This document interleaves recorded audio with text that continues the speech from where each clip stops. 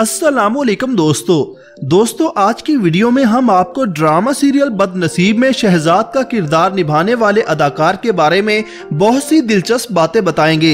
ये अदाकार असल में कौन हैं, क्या करते हैं और क्या ये शादीशुदा हैं या सिंगल हैं? और सबसे अहम बात कि इनका अदाकारा सहर खान से क्या रिश्ता है ये सब जानने के लिए वीडियो को एंड तक लाजमी देखिएगा। दोस्तों, ड्रामा सीरियल बदनसीब में शहजाद का किरदार निभाने वाले इस एक्टर का असल नाम अहमद रफीक है। ये एक फ़ेमस एक्टर होने के साथ साथ सिंगर और राइटर भी हैं। इनका ताल्लुक पंजाब के शहर लाहौर से है। ये 9 नवंबर उन्नीस सौ अठानवे को लाहौर में पैदा हुए और अब इनकी उम्र तकरीबन 24 साल है।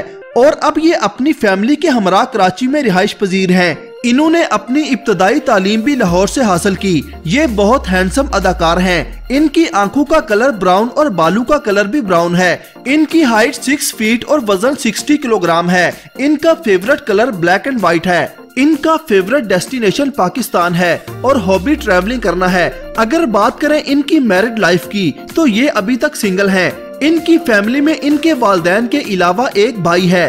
जो कि फ़ेमस डांसर और बॉक्सर है। और अब अगर बात करें कि अदाकारा सहर खान से इनका क्या रिश्ता है तो ये दोनों बेस्ट फ्रेंड्स हैं। और इनकी दोस्ती ड्रामा सीरियल वफा कर चले की शूटिंग के दौरान हुई, इसीलिए ये दोनों एक साथ दिखाई देते हैं। और अगर बात करें इनके शोबिस कैरियर की तो इन्होंने एज अ मॉडल और सिंगर शोबिस इंडस्ट्री में कदम रखा। मॉडलिंग और सिंगिंग से शोहरत पाने के बाद इन्होंने एक्टिंग करने का फैसला किया।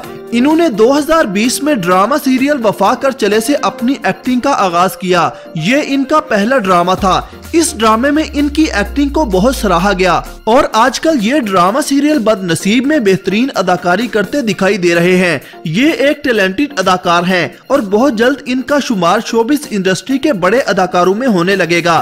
दोस्तों, अगर वीडियो पसंद आई हो तो लाइक और शेयर ज़रूर करें। अल्लाह हाफिज।